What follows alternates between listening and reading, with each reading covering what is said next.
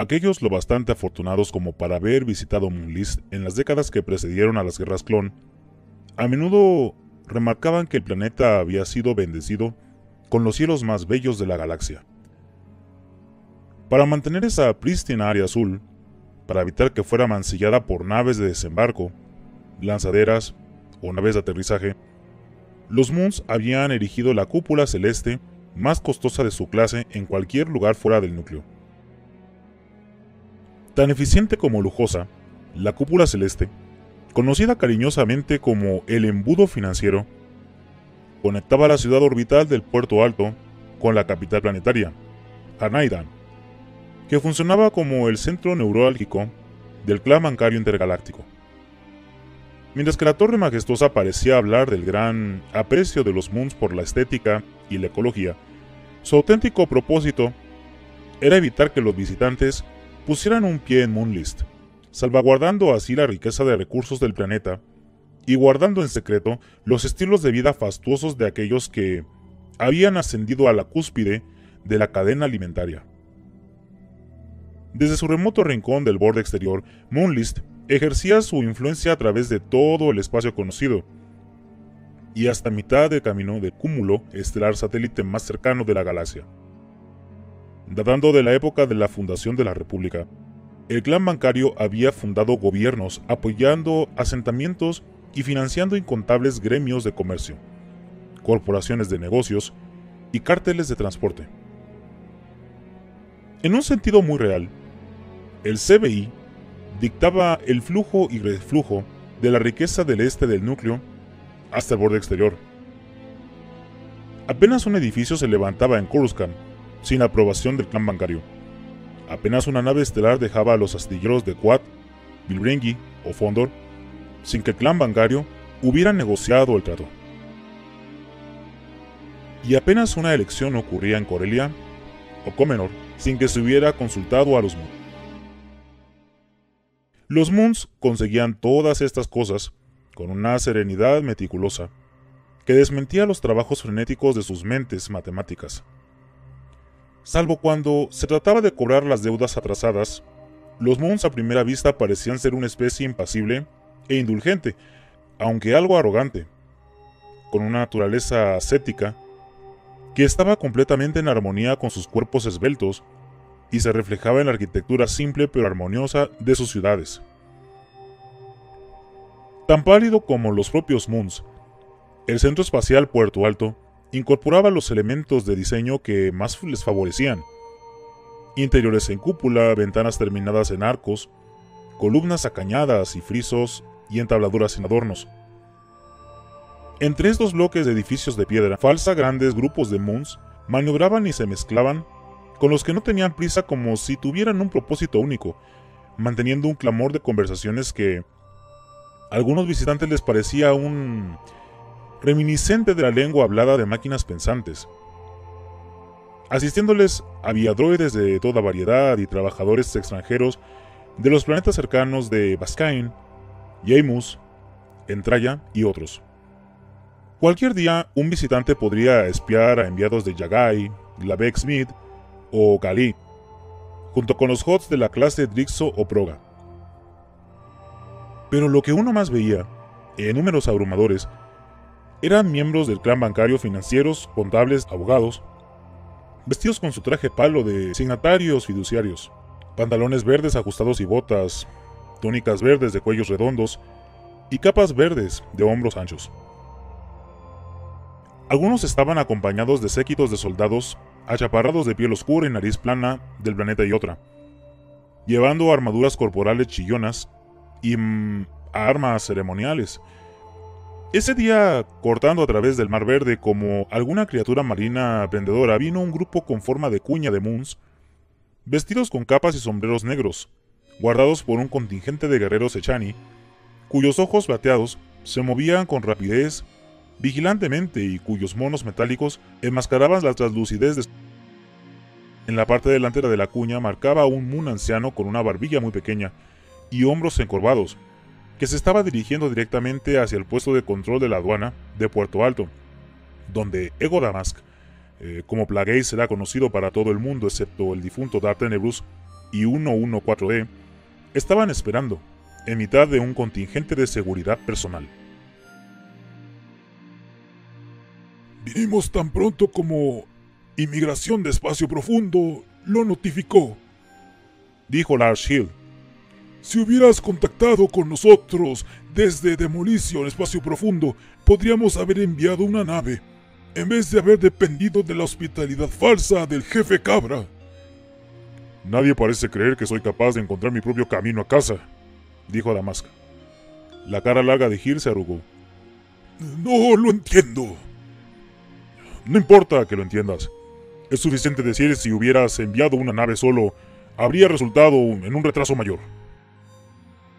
Como la de Hill y su camarilla, de media docena de seres, la cabeza sin pelo de Damask estaba revestida por un bonete ceñido y el dobladillo de su capa negra barría el suelo pulido. Si te esperaba desde hace días, dijo Hill con una nota de exasperación. Sucesos de una naturaleza imprevista me evitaron volver antes. Un viaje exitoso, no obstante, asumo. Asumes correctamente. Gil se relajó de alguna manera. No deberíamos demorarnos aquí más de lo necesario. El transporte está esperando. Ante un gesto de Gil, los moons de capas negras empezaron a girar hacia los turboascensores de la cúpula celeste, eh, con cuatro de los guerreros vestidos de plateado, flanqueando a Damask y al droide, que caminaba tras él. Estás cojeando, dijo Gil con sigilosa urgencia. ¿Estás herido? Me estoy curando, dijo Damask. No lo vuelvas a mencionar. Podríamos posponer la reunión. No, no, no, no. Tendrá lugar según se programó. Ah, me alegra oír eso, dijo Gil. Dado que varios de sus invitados ya están en tránsito hasta Sorghum. El grupo estaba a medio camino de los turboascensores cuando una facción de oficiales del clan bancario cruzó deliberadamente por su camino, forzándoles a parar. El líder obvio de la facción, un Moon de mediana edad, se separó del resto y se movió hacia adelante. Magister Damask, dijo, qué sorpresa encontrarla aquí, entre la plebe. Damask adoptó una débil sonrisa. Excluyéndole a usted, por supuesto, presidente Tonit. Tonit se tensó. Simplemente estamos de paso. Igual que nosotros, dijo Damask, haciendo gestos a Gil y al resto. ¿Ha estado viajando, Magister? ¿Un viaje de negocios, presidente? Ah, por supuesto. Fue el turno de Tony de mostrar una sonrisa débil. Ah, pero en ese caso, eh, quizás no ha oído que el Senado está a punto de crear zonas de comercio libres adicionales en los territorios del borde exterior. A pesar de lo que comprendo que eran esfuerzos considerables de su parte para lo contrario, los cárteles de transporte se enfrentan al peligro de romperse, e incluso si no es así, con certeza tendrán que tratar con la feroz competición de las compañías emergentes. Los planetas del núcleo y del borde exterior deberían beneficiarse mucho del arreglo, ¿no está de acuerdo?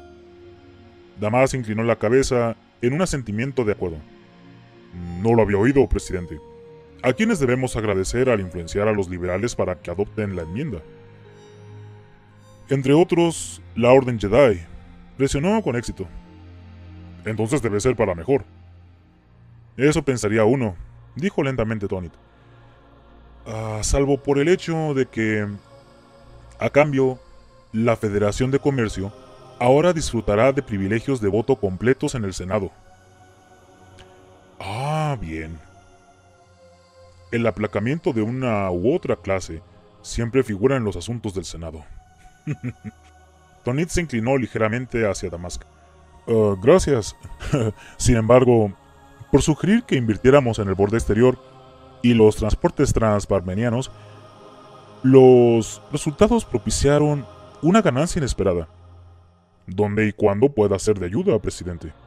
Tonit se enderezó. Su padre del clan estaría orgulloso. Damax miró a Tonit a los ojos.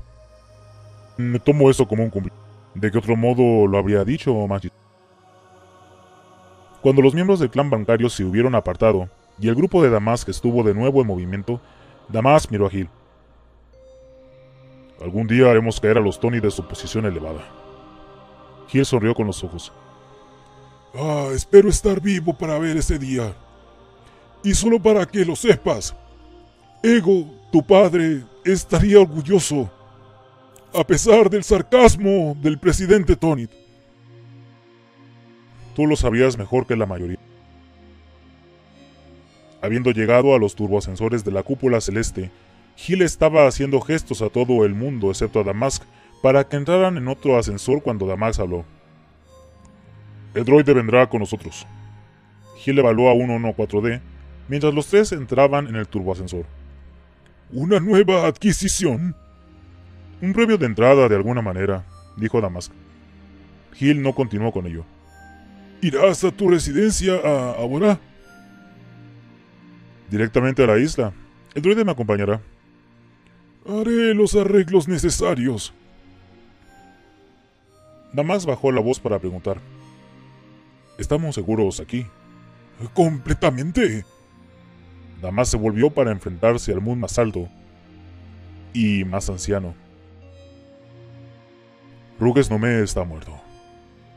¿El Bid? ¿Cómo? ¿Dónde? Eso no es relevante. Eventualmente la finca de Nomé pasará a nosotros, pero eso no será hasta dentro de algún tiempo, dado que es improbable que su cuerpo sea encontrado jamás. Gil no se molestó en preguntar los detalles. Ah, dejaremos que pase un año estándar. Entonces haremos una petición al tribunal testamentario para que tomen una decisión.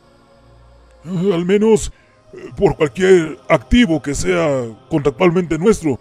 Tú eres el ejecutor en cualquier caso, ¿verdad? Damax asintió. Al final estaremos liquidando la mayor parte de la finca, pero hay varias antigüedades de una clase curiosa que planeo quedarme. Prepararé un inventario. Mientras tanto, quiero que te familiarices con un planeta llamado Valdemic. Una vez que lo hayas hecho, vas a adquirir derechos mineros para toda la península noreste de la masa de tierra principal. Compra tanta propiedad como puedas, desde la orilla hasta las tierras altas centrales. Te proporcionaré las coordenadas específicas. La seguridad tiró de los rasgos fuertes de Gil. Ah, ¿Vamos a aventurarnos ahora en un negocio de la minería? Eh, cuando el momento sea adecuado, utilicen temerarios que no puedan seguirnos a nosotros. Sospecho que tendrás que ir hasta la cima para asegurar lo que necesitamos. Los indígenas serán problemáticos para negociar con ellos, pero confío en que se les pueda persuadir de alguna manera. Negocia como sabes, pero al final no escatimes en gastos. ¿Valdemic es tan importante? Mm, una corazonada, dijo Damask revelando un panorama curvo de océanos aguamarina, planicies marrón pálido y bosques siempre verdes, y directamente debajo la imagen que se decía que arrebataba el aliento, la hermosa ciudad de Haranidan, llena de estructuras neoclásicas tan altas como las espiras volcánicas que la rodeaban, y hogar de 50 millones de moons, viviendo en un paisaje urbano que tenía un diseño ordenado que era una obra maestra del arte. Para algunos, era la antítesis de la mayoría de las capitales planetarias, la anti-Kurskant, la anti-Denon. ¿Qué podemos esperar de la reunión? preguntó Damax, apartándose de la vista. Gardula ha solicitado una audiencia. No tengo costumbre de sentarme con Hots. Ella pide tu ayuda para que medies en una disputa. ¿Con quién? Con el clan de Silijic. Damax asintió astutamente. Esto ha estado conociéndose desde hace algún tiempo. ¿Qué más? Los representantes de John Shore estarán ahí. Bien. Las holotransmisiones tienen sus limitaciones. Los miembros de la Federación de Comercio y el Protectorado Grant también asistirán. No hay nada agradable en ninguno de ellos. Hay otro pequeño asunto que necesitamos resolver. Extiende una invitación personal a los propietarios de Minería Softex. Ah, no puedo recordar habernos metido en tratos con ellos ¿Tiene esto algo que ver con Valdemic? Durante un tiempo asesoraron a Nome. Asegúrate de que comprenden que operamos con una completa confia... Eh, confidencialidad. Si el BIT se asoció con ellos, deberían venir altamente recomendados. Mm, eso pensaría uno. Damas le volvió la espalda a Gil para abarcar las vistas una vez más. Pero de hecho, no les veo mucho futuro. A diferencia de tantos planetas que habían sido explotados y colonizados desde el núcleo, Moonlist había dado origen a su propia rama de seres inteligentes, granjeros y pescadores. Los antiguos Moons no habían sabido lo privilegiado que era su planeta hasta que los viajes interestelares se habían convertido en algo común y los metales preciosos habían vuelto el eje central de la economía galáctica. De no haber sido aquellos primeros milenios de expansión, una época de paz, los Moons podrían haber perdido lo que tenían ante el poder militar. Pero dio la casualidad de que habían resistido todos los intentos de explotación y se habían convertido en dueños de su destino. Aún así, lo que fue una bendición económica eventualmente se convirtió en una carga. Una vez que los Moons comprendieron el valor de lo que habían dado por sentado previamente, se aferraron a sus riquezas con una tenacidad feroz y desarrollaron un apego casi agorafóbico a su planeta. En realidad, en mitad de los océanos poco profundos de Moonlist, la misma actividad volcánica que había fertilizado las vastas planicies arrojó nuevos lechos marinos y superficies y suficientes metales preciosos para alimentar el crecimiento de nuevos imperios. Se descubrió que las montañas que crecían a lo largo de los cráteres en la dorsal planetaria eran depósitos de extraordinaria riqueza, pulidas por aguas cálidas repletas de crustáceos, gusanos tubo y flora bioluminiscente, tales como humeantes, como se les conocía, se convirtió en, la fuente y la crispa financiera de los clanes más poderosos y prósperos de Moonlist. Más remota que algunas, Aborá, que había sido la provincia del clan Damask durante varias generaciones, era por demás la típica de humeantes inactivos cuyos picos cónicos expresamente arborados sobresalían de las aguas calmadas del mar oeste. Una maraña de tubos de lava interconectados recorrían las profundidades de la isla montañosa. Cascadas se desplomaban desde las alturas escarpadas y el incienso de los árboles perfumaba el aire salado de los valles bajos. Conducidos en un deslizador al complejo de, la torre norte de Ábora, Plagueis escoltó a 114D en un viaje por los corredores y cavernas que constituían su lugar de soledad sacrosanta. Llegarás a encontrarte en casa aquí igual que yo, dijo Plagueis, haciéndoles gestos a los muchos droides que estaban al alcance para darle la bienvenida a la pareja Ábora. Estoy seguro de que sí, Magister Damask, dijo 114D, con sus fotoreceptores registrando una docena de tipos de droides diferentes de una sola mirada. Droides Memo, droides de energía GNK, e incluso un prototipo de droide quirúrgico ubriquiano. Con el tiempo nos encargaremos de que se restauren tus apéndices originales de manera que puedas ganarte el sustento. Lo espero con impaciencia. El viaje empezó a las puertas exteriores, que estaban señaladas con mobiliario y objetos de arte de la más alta calidad, reunidos de todos los sectores de la galaxia. Pero Plagueis no era ni tan ambicioso como un Nemoidiano, ni tan ostentoso como un Hot. Así, las salas ornamentadas rápidamente daban paso a habitaciones de la reunión de datos llenas de receptores de audio y video y proyectores de holored, y luego a galerías llenas a rebosar con antiguos documentos y tomos, registrados en medios que iban desde pergaminos de tronco de árbol pesado, por pasando por platis fino, hasta cristales de almacenamiento y holocrones. Se decía que los Moons aborrecían la literatura y que odiaban guardar archivos de cualquier cosa aparte de noticias de préstamos, tablas actuariales y escritos legales. Y no obstante, Plagueis era guardián de una de las mejores bibliotecas que se encontraban en cualquier lugar fuera de Sky o el templo Jedi de Coruscant.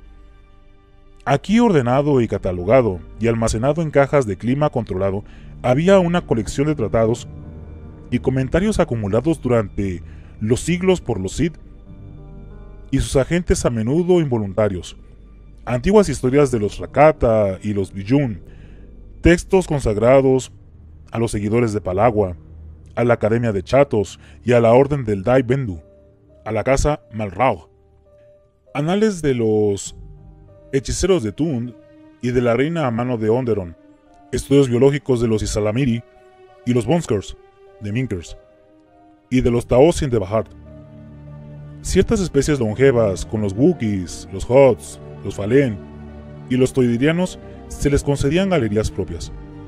Más adentro en la montaña, había laboratorios donde tenía lugar el auténtico trabajo de Plagueis, confinadas en jaulas, campos de éxtasis, bioreactores y tanques de Bacta, había formas de vida traídas a Munlis desde toda la galaxia, muchas de ellas desde lugares más remotos.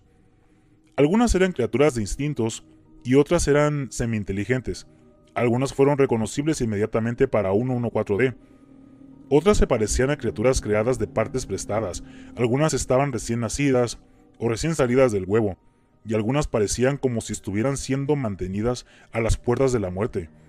Más de unas cuantas eran sujetos de experimentos que estaban teniendo lugar en lo que parecían ser vivisecciones o hibridaciones y otras estaban claramente en animación suspendida. 114D notó que muchos de los animales llevaban remotos que le conectaban con máquinas que estaban monitorizando sus signos biométricos, mientras que otros estaban bajo el cuidado directo de droides especialistas. En algún otro lugar de la montaña vacía había cercados sellados, calentados por luces artificiales, rodeados por mezclas giratorias de gases raros y exuberantes por la flora. Y más a menudo, todavía había centros de pruebas llenos con máquinas complejas y unidades refrigerantes con la parte delantera del cristal destinadas al almacenamiento de complejos químicos, alcaloides derivados de plantas y animales. Muestras de sangre y tejidos y órganos corporales de una gran cantidad de especies. Plagueis le dio instrucciones a 114D de que vagara por las galerías y los laboratorios por sí solo, y que luego volviera a presentarse ante él. Horas después el droide volvió para hablar. Reconozco que usted está involucrado en una investigación relacionada con la durabilidad de las especies y la hibridación, pero debo confesar que no estoy familiarizado con muchos de los ejemplos de fauna y flora que ha reunido y con pocos de los documentos arcanos de su biblioteca. ¿Están disponibles los datos para cargarlos? Alguna parte de ella, dijo Plagueis. El resto tendrá que ser escaneado. Entonces la tarea requerirá años estándar, magistral. Soy consciente de ello. Mientras que hay cierta urgencia, no tenemos prisa. Lo comprendo, señor. ¿Hay datos específicos que desee que asimile primero? Del bolsillo de su pecho de su capa, Plagueis sacó un cristal de almacenamiento. Empieza con esto. Es una historia de los Sith.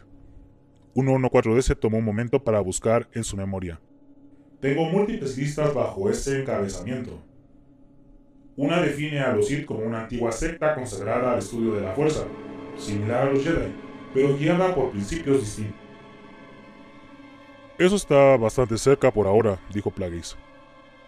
Magister nomás, si puedo ser tan atrevido como para preguntar, ¿cuál es nuestra meta eventual? La meta es extender mi vida indefinidamente, para conquistar la muerte. El droide fijó sus fotoreceptores en Plagueis. Tengo acceso a datos sobre los pretendidos elixires de la vida y fuentes de la juventud, Magister, pero todas las cosas vivas mueren al final, ¿no es cierto? En el presente uno... El droide pensó más en ellos. Tengo experiencia en cirugía para reemplazar órganos, genoterapia, telomera y suspensión en carbonita, pero nada más allá de eso. El sabio labio superior de Plagueis se arrugó. Mm, entonces, meramente has arañado la superficie. Con 114D profundamente en su modo de procesamiento, Plagueis sacó un frasco de su propia sangre y lo sometió a análisis. A pesar de la amplificación reciente de sus poderes, sintió que el recuento de sus midiclorianos no se había incrementado desde los sucesos de Valdemic, y el análisis de su muestra de sangre confirmó sus sospechas. La investigación había establecido hacía mucho que las transfusiones de sangre de individuos sensibles a la fuerza no confería poderes de la fuerza a sus receptores. Aunque la sangre con un recuento alto de midiclorianos concedía temporalmente fortaleza y elasticidad, los experimentos con transfusión absoluta habían ido horriblemente mal para los receptores, sugiriendo para algunos que la fuerza exigía un precio de aquellos que intentaban manipularla. Los midiclorianos de un individuo parecían saber a quienes pertenecían y se volvían inertes fuera de sus contenedores, a los que estaban consagrados. Mientras que los midiclorianos parecían resistir la manipulación de una clase que pudiera poner en peligro el equilibrio de la fuerza, parecían permanecer pasivos, incluso obedientes. En el caso de uno la voluntad débil siendo manipulado por alguien que era fuerte en la fuerza. Quizás eso explicaba por qué a menudo era más fácil llamar a la fuerza para curar a alguien que a uno mismo. Extender la vida, entonces, podría depender de algo tan simple como ser capaz de inducir a los midiclorianos a crear nuevas células, a subdividirlas a voluntad, incrementando sus números por decenas de miles para curar o reemplazar las células dañadas, envejecidas o con metástasis. Los midiclorianos tenían que estar obligados a servir las necesidades del cuerpo, a conceder la fortaleza cuando se era necesaria, a superar el insulto físico o evitar que las células alcanzasen la senectud. Si uno aceptaba las historias dejadas en relatos y holocrones, los antiguos Sith habían sabido cómo conseguir esto, pero habían sido los Sith como Naga Sodou y Exar Kun genuinamente más poderosos o se habían beneficiado del hecho de que el lado oscuro había sido más prominente en aquellas eras pasadas? Algunos comentaristas clamaban que la habilidad que había para sobrevivir a la muerte se había limitado a aquellos con talento para la brujería y la alquimia, y que el uso de tales prácticas realmente fue anterior a la llegada de los Jedi oscuros, exiliados de Corriban. Pero la brujería se había estado empleando menos para extender la vida que para crear ilusiones, crear bestias y resucitar a los muertos. Se decía que los aptos poderosos habían sido capaces de saturar las atmósferas de los planetas con energía del lado oscuro, obligar a las estrellas a que explotaran o inducir parálisis en las masas, como aparentemente hizo Exarcún al seleccionar a los miembros del Senado de la República. Otros adeptos utilizaban la brujería meramente como un medio para comprender mejor los encantamientos y runas de los antiguos Sith. Darth Bane se había referido a la brujería como una de las expresiones más puras del lado oscuro de la fuerza y... Sin embargo, él no había sido capaz de utilizar aquellas energías con la misma habilidad como había hecho su amiga aprendiz Sana.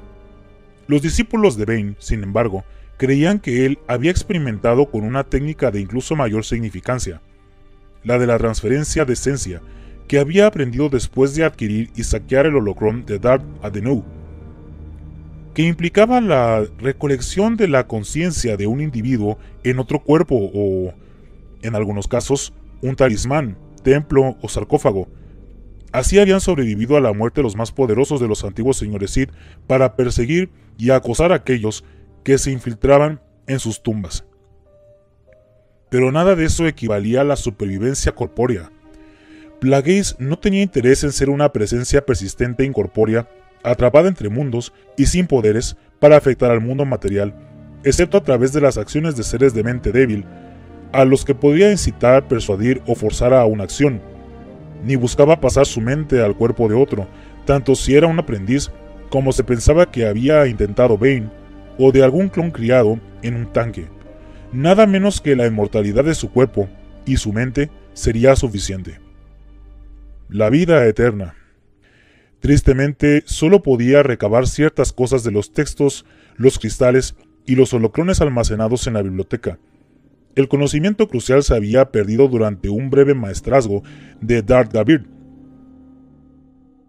y muchos de los elementos más importantes del entrenamiento Sith desde entonces se había pasado de maestros a aprendices en sesiones que se habían quedado sin grabar. Más concisamente, Darth Tenebrus había tenido muy poco que decir respecto a la muerte.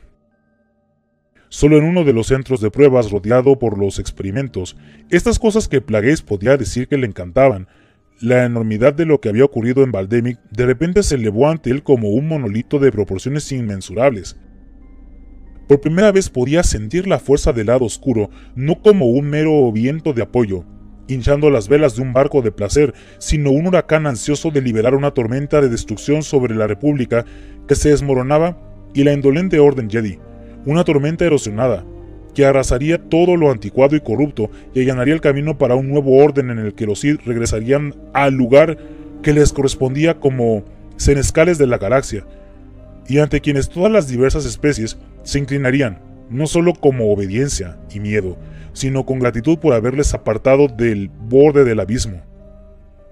La tarea ante él era a la vez estimulante y desalentadora, y el ojo de esa tormenta ciclónica podía oír las voces lejanas de todos aquellos que habían fijado las bases del imperativo Sid, el gran plan, de aquellos que habían avivado el huracán con sus alientos y sus vidas, Darth Sana, y hacia abajo a través de las generaciones que habían incluido a Cognus, Vectibus, Ramash y Tenebrus.